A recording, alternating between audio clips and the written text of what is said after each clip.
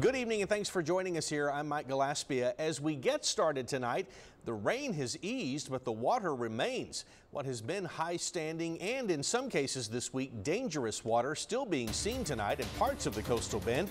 The update here in tonight's top story. Now, among the many areas we've been keeping an eye on across our part of the world is the area near the Nueces River, particularly near County Road 73. You'll recall some concern there earlier this week as rising water caused a problem for residents who live out that way. We are happy to say that a check of things tonight tonight reveals that the floodwaters are going down now that the heavy rain has stopped. That also seems to be the story in other parts of the county as well and should continue into the weekend. Other areas across the coastal bend, though, also seeing high water, like, well, in Aransas Pass. Several streets and area businesses are still underwater there. That includes the gas station you see here. Our 3 News drone capturing a look at what Buck's convenience store off of Business 35 and the, I, one, uh, the 188 junction in Aransas Pass looks like tonight after this week's heavy rain.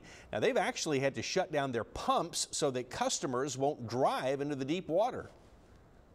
They've been pulling up here on the side here. Pretty smart not driving through it for the most part. Come in anyway. We can't sell gas right now, but come on in anyways.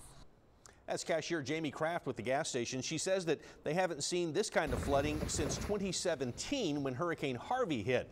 Neighboring cities like Rockport also dealing with flooding from this week's heavy rain. The city of Rockport joining Nueces County in issuing a disaster declaration. Because of that disaster declaration, the state of Texas has sent several crews to Rockport to help with rescue and recovery efforts. Four teams of Texas Task Force One, each with three members, are in Rockport with swiftwater rescue boats. The Department of Public Safety has also sent a Marine unit. Rockport City officials urge drivers to pay attention to barricades and not try to drive around them.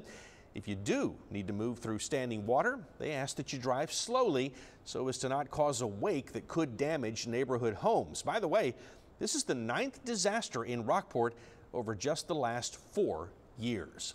And all of this rain obviously affecting our local lake levels, which in turn impacts our, impacts our watershed.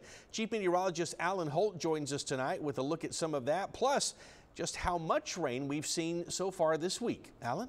Mike, today, Rockport again, the big winner in terms of rainfall totals, at least as of the 6 o'clock hour. Over an inch there, almost an inch in Port Aransas. Corpus Christi, the city, a lot of us got a lot of rain this morning with the airport. A lot of that rain missed the airport to the east, only about a tenth of an inch there. These are from some of the reports around the area. Over a half, uh, a foot and a half of rain in Rockport. Aransas Pass also up near 15 inches of rain. Parts of Corpus Christi over 13 inches inches of rain. Naval, Naval Air Station around 8 inches. So a lot of rain, a lot of that falling near the coast. So the watershed didn't really benefit a whole lot over the past few days. We're maintaining this 58.6% mark for the month we haven't really changed a whole lot. So we're holding steady in that department.